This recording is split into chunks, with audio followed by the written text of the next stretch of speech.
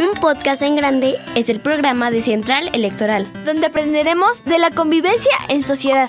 Escucha cada 15 días un podcast en grande para aprender nuevas cosas a través de Central, Electoral.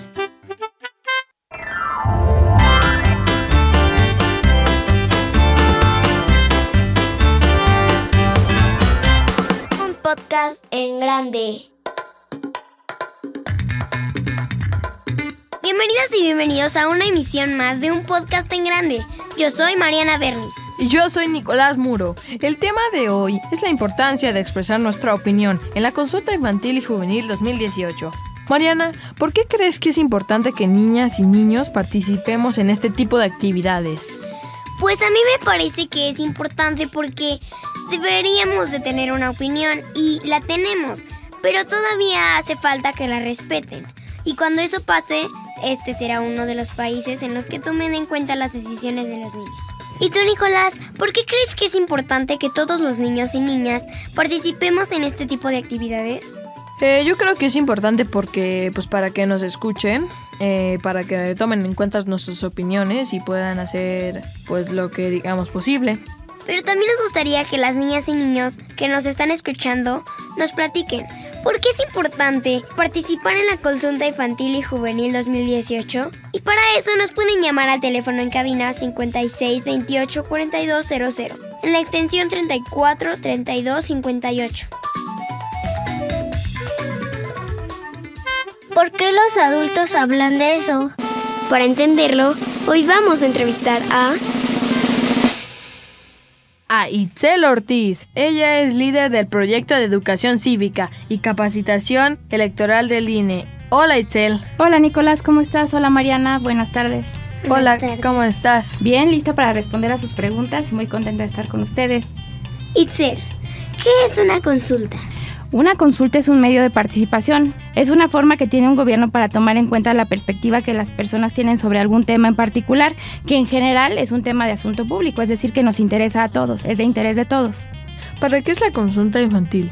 Bueno, la, consulta infantil y juvenil es un espacio en el cual la población infantil y adolescente, o sea, ustedes, niños, niñas y adolescentes hasta los 17 años, tienen la oportunidad de expresarse y ejercer su derecho a participar sobre temas que tienen que ver con su vida cotidiana.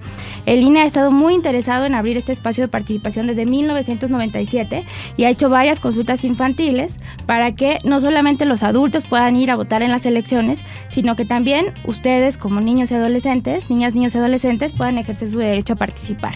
¿Y una consulta es igual a las elecciones? No, una consulta no es una elección, es una forma de participación. Una elección es una forma de elegir y una consulta nada más es una forma de conocer una eh, opinión sobre algún tema en particular. ¿Sobre qué temas nos van a preguntar? En esta ocasión buscamos conocer eh, lo que las niñas y los niños opinan en materia de igualdad. Es decir, queremos identificar aquellos impedimentos, obstáculos que pueden tener para que los niños y las niñas ejercen sus derechos por igual y que sean tratados de la misma manera porque estamos convencidos de que es necesario identificar esos obstáculos y lograr superarlos en conjunto como sociedad. Pero, ¿por qué es importante que niñas y niños conozcamos sobre la igualdad? Porque la igualdad y la inclusión es un derecho humano fundamental y que todos seamos iguales es fundamental para un gobierno democrático y para que todos y todas tengamos garantizada nuestra participación. En una democracia como la que aspira a construir el INE, no puede haber diferencias de participación y tiene que estar garantizada esta participación para todos por igual. Oye, Itzel, ¿en todas las escuelas se puede participar?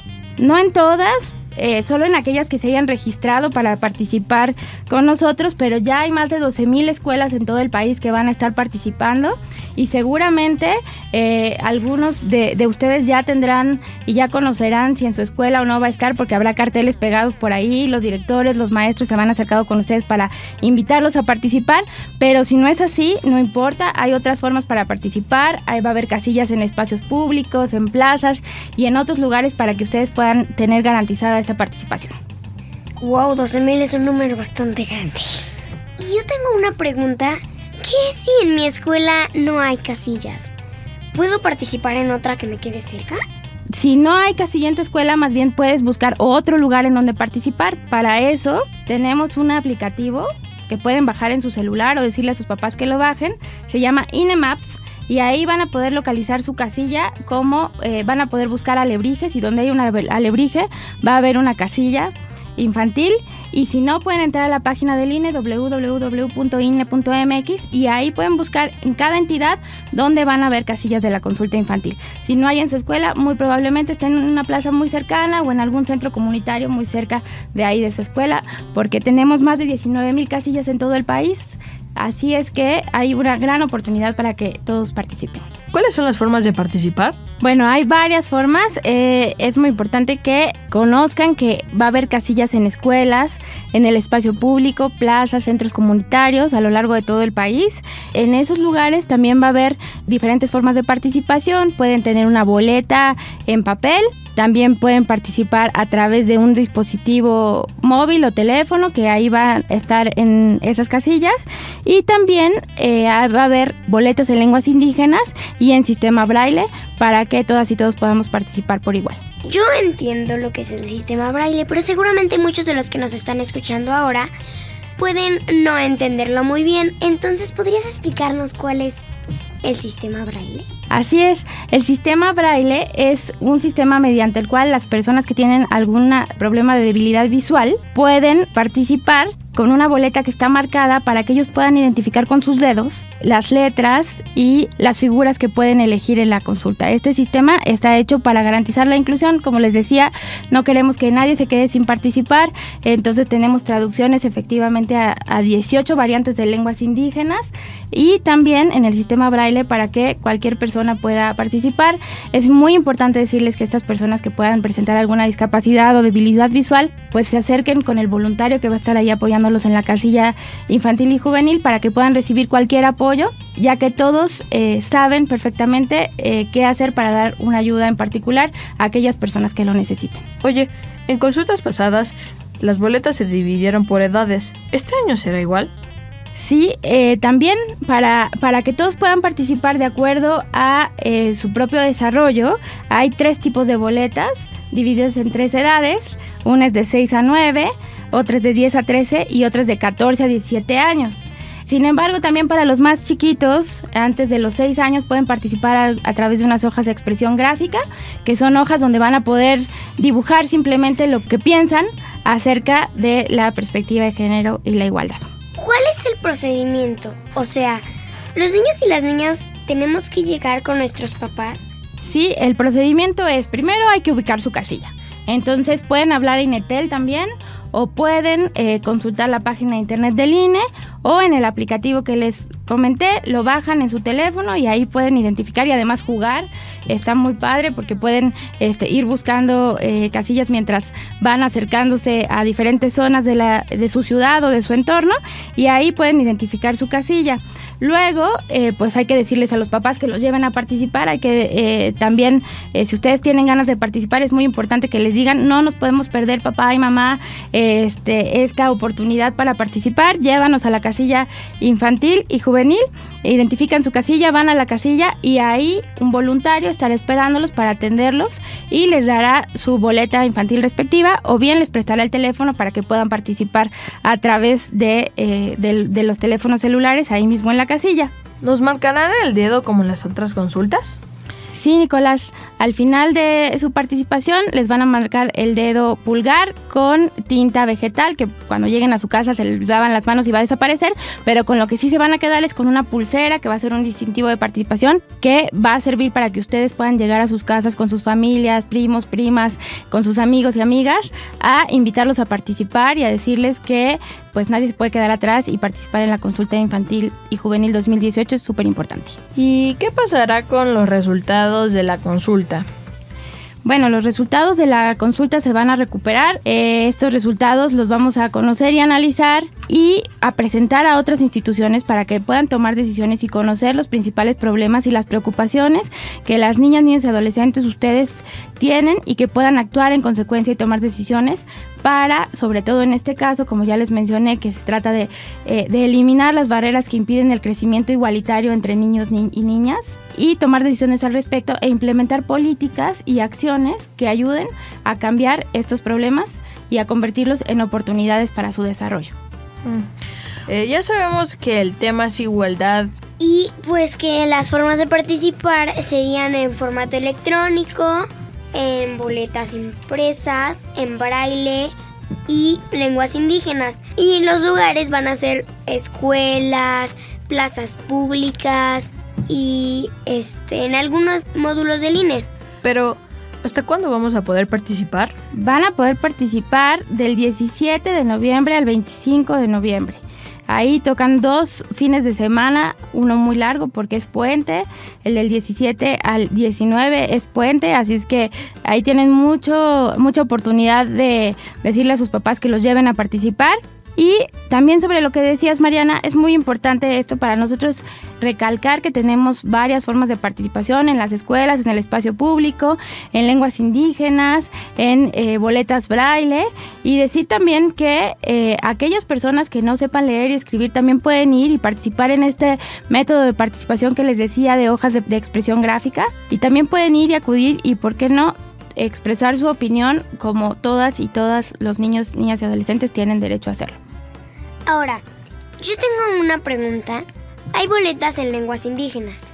A esos niños que vayan y utilicen esas boletas, ¿va a haber gente que les diga, o sea, en lengua indígena, que les diga lo que tienen que hacer?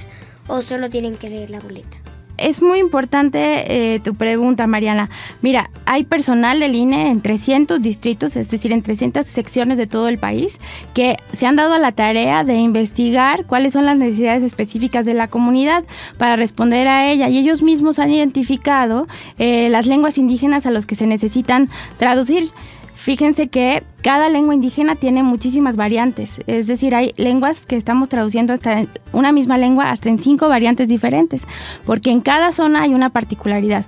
Entonces, en cada zona se eligió esta variante que correspondía para poder atender a la población indígena y ahí precisamente también ya esas casillas están preparados para atender a eh, las personas que hablan lengua indígena y es muy importante decir que en la misma comunidad también eh, ellos ya están acostumbrados muchas veces a hablar en, lengua indígena y en español y si no, ahí el voluntario, la voluntaria encargada de la casilla estará capacitado debidamente para atender a estas personas. Ok. Bueno, Itzel, muchísimas gracias por haber venido a un podcast tan grande.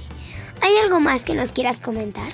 Pues sí, que no hay opiniones chiquitas para el INE, que todas las opiniones son muy importantes y que Mariana y Nicolás ojalá puedan convencer a muchísima gente de sumarse a la consulta infantil y juvenil y que gracias a ustedes y a sus opiniones podamos ayudar a construir un México más incluyente y más igualitario para todos y todas. Muchas gracias. Ella es Itzel Ortiz Zaragoza, líder del proyecto de educación cívica y capacitación electoral del INE. Muchas gracias a ustedes, Mariana y Nicolás. Nos vemos en la consulta.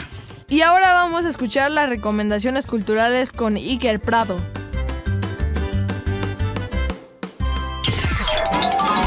Carteleras, agenda ¿Y qué hacer para divertirnos? recomendación cultural. La primera recomendación para este fin de semana es una obra de teatro llamada Valevska, que trata de la historia de una niña albina que se enfrenta a las miradas de los extraños en su primer día de clases y gracias a su maestra descubre que no es diferente a los demás. Esta divertida obra se va a presentar todos los domingos de noviembre a las 12 horas en la casa Rivas Mercado, que está ubicada en la calle Héroes número 45 de la colonia Guerrero, en la alcaldía Cuauhtémoc. La segunda recomendación es una lectura muy corta, que tiene mucho que ver con el derecho que las niñas y los niños tenemos a expresarnos.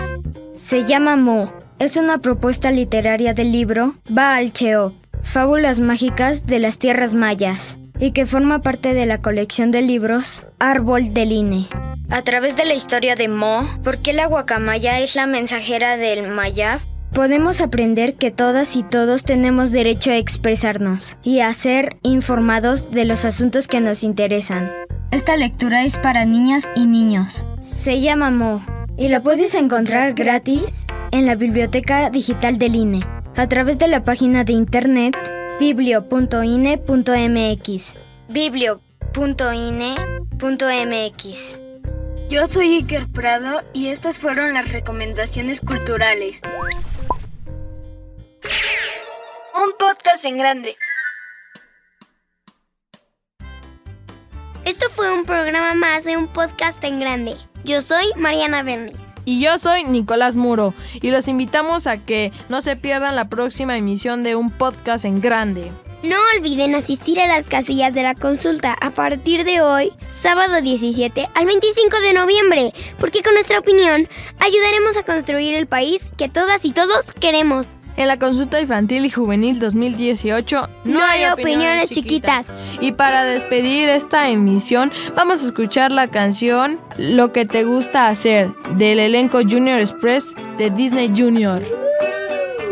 Bye bye. Chao amigos. Hacer una canción puede ser algo muy divertido.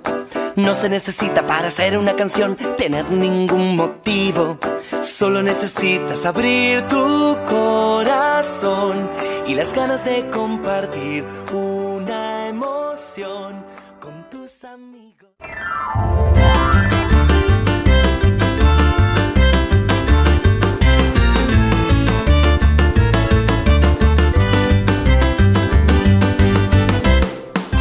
Un podcast en grande. Un podcast en grande es el programa de Central Electoral. Donde aprenderemos de la convivencia en sociedad. Escucho cada 15 días un podcast en grande. Para aprender nuevas cosas a través de Central Electoral. En el Instituto Nacional Electoral, hoy te queremos escuchar. En la Consulta Infantil y Juvenil 2018, del 17 al 25 de noviembre. Tu voz es lo más importante para nosotros. En esta consulta, el tema es perspectiva de género y derechos humanos. Pronto te diremos dónde encontrar tu casilla. Invita a tus amigos y amigas y participa. Central Electoral.